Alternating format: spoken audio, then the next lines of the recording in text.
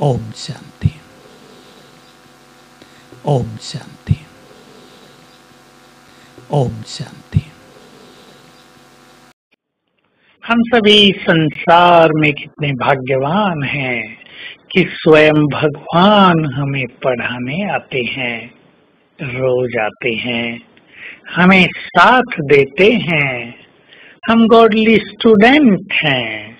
Godly student life is the best life हमारी life सबसे सुंदर है। सवेरे उठते ही यदि हमें ये नशा रहे पढ़ाई के समय, मैं गॉडली स्टूडेंट हूँ और स्वयं भगवान मुझे पढ़ाने आते हैं तो ये मुरली हमारे जीवन को महान परिवर्तन करने वाली बन जाएगी। मुरली, भगवान का डांस है। गुह्य रहस्यों से भरी हुई है। बहुत सीक्रेट्स इसमें समाये हुए हैं। अगर हम आत्माभिमानी होकर और ईश्वरीय नशे में स्थित होकर इसको सुनते हैं तो ये पढ़ाई हमारे जीवन को बहुत महान बना देती है। हमें देवत्व की ओर ले चलती है। आइए हम सब उमंग रखें। हमें इस पढ़ाई में पास विद ऑनर होना है, या फ़र्स्ट क्लास लानी है। तो डिग्री है।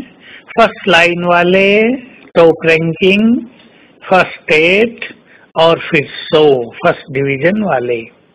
तो हम अपना नंबर चुन लें फिक्स कर दें।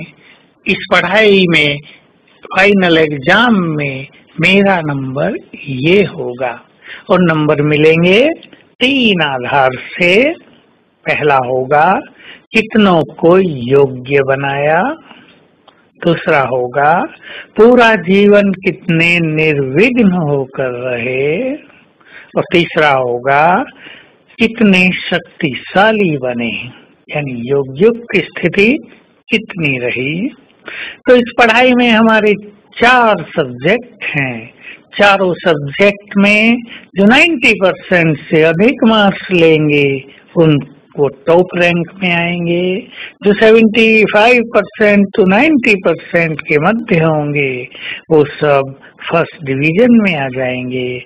और जो 60 के आसपास होंगे, वो सब सेकंड डिवीज़न में आएँगे। तो हमें महान लक्ष्य रखना है। इस पढ़ाई के द्वारा अपने को रोज नए नए गुह्य रहस्यों से भरपूर करना है। पढ़ाई, ये ईश्वरीय पढ़ाई हमारी बुद्धि को दिव्य बुद्धि बना देती है।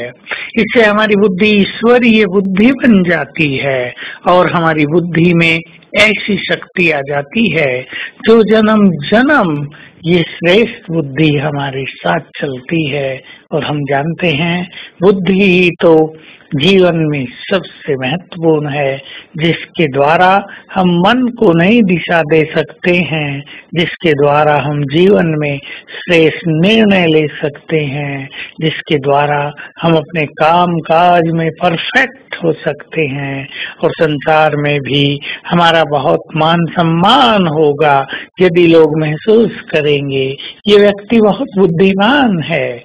तो ऐसा श्रेष्ठ बुद्धि का भाग्य हम इस पढ़ाई के द्वारा बाबा से यहाँ पर प्राप्त करते हैं। तो हमें इस पढ़ाई पर बहुत ध्यान देना है। पढ़ाई का अर्थ ये कदापि नहीं कि सारा दिन मुरली सुनते रहें। पढ़ाई का अर्थ है, मुरली को जीवन में धारण कर लेना। हमारा जीवन ईश्वरीय ज्ञान का स्वरूप बन जाए।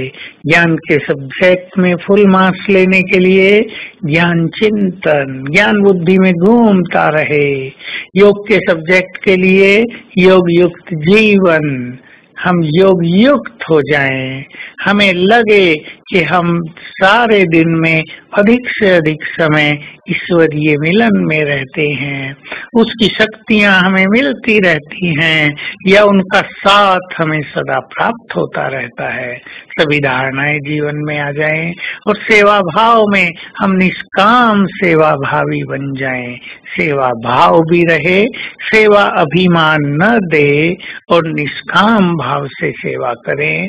तो इन चारों सब्जेक्ट के द्वारा हम पास विद ऑनर का सर्टिफिकेट ले सकते हैं। हैं। तो आज सारा दिन हम बहुत अच्छी तरह याद रखेंगे। मैं भगवान का स्टूडेंट हूँ। पास विद ऑनर होने वाला हूँ। विजय माला में आने वाला हूँ।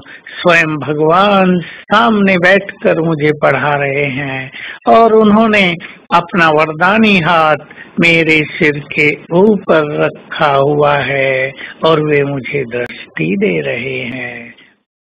तो आप सबको बहुत बहुत थैंक्स ओम शांति।